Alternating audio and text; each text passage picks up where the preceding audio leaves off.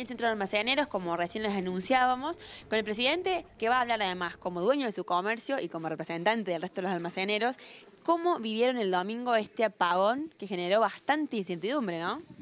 Sí, como siempre, la falta de energía eléctrica genera muchísimos trastornos. Tenemos todo, la sociedad está toda dependiendo de la energía. Algunos casos de extrema gravedad, que no es el nuestro, pero sí, desde luego que cuando te falta energía en los rubros como el nuestro, las dificultades aparecen.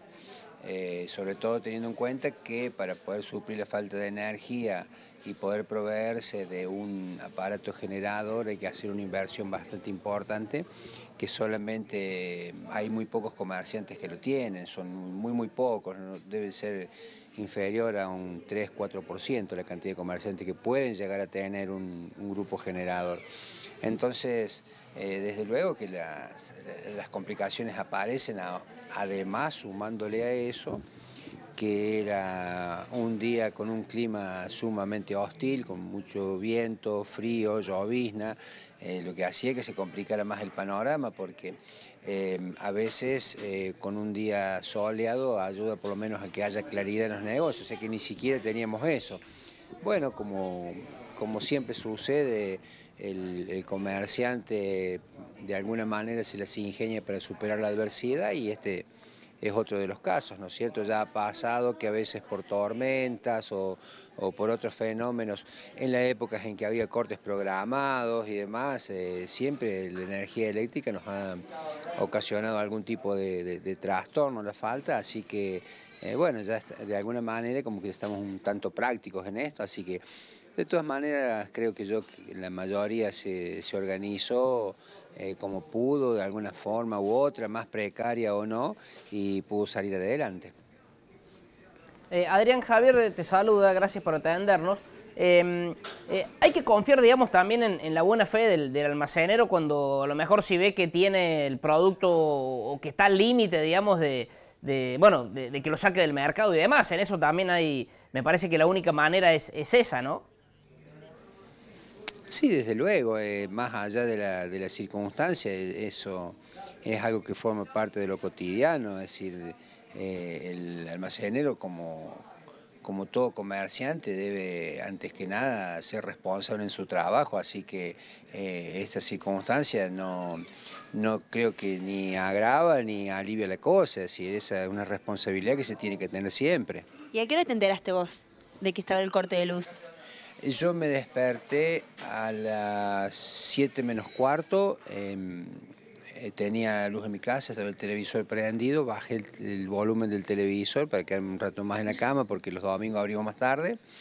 Y mm, a las 8 menos cuarto eh, me suena el celular y el panadero que nos trae el pan me avisa que no había luz, pero no sabíamos de que el corte era a nivel país. Claro. Eh, me sonaba raro que fuera un día con un clima así, porque muchas veces el personal de EPEC suele hacer cortes programados por reparaciones los días domingos en esta zona, pero no me sonó raro que con un clima como este, además siendo Día del Padre, no, no me imaginaba que iban a estar haciendo alguna tarea de reparación. Supuse que, como muchas veces sucede, que en esta zona suelen explotar algunos transformadores. No, no, no pasó de ahí, desde luego que yo creo que ninguna persona eh, podría haber llegado a imaginar que era un corte que involucrara a Uruguay, Brasil, Argentina y Chile.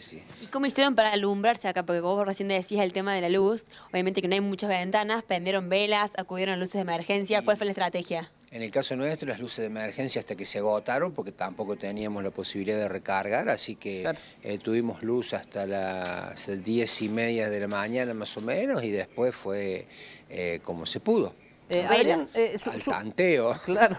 Suponiendo, Adrián, que viene un, alguien que está dentro de, la cámara, algún almacenero, te dice, bueno, Adrián, mira, he tenido pérdidas que han sido cuantiosas, ¿no? Y me gustaría hacer alguna demanda, algún reclamo civil por lo que he perdido.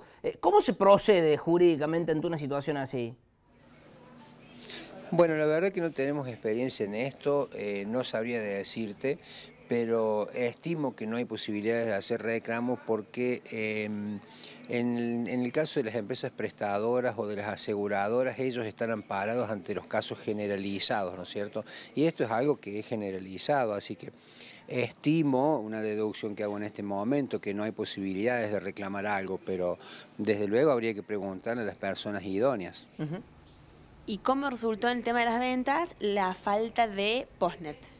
¿Afectó que la gente no pudiera pagar con tarjeta?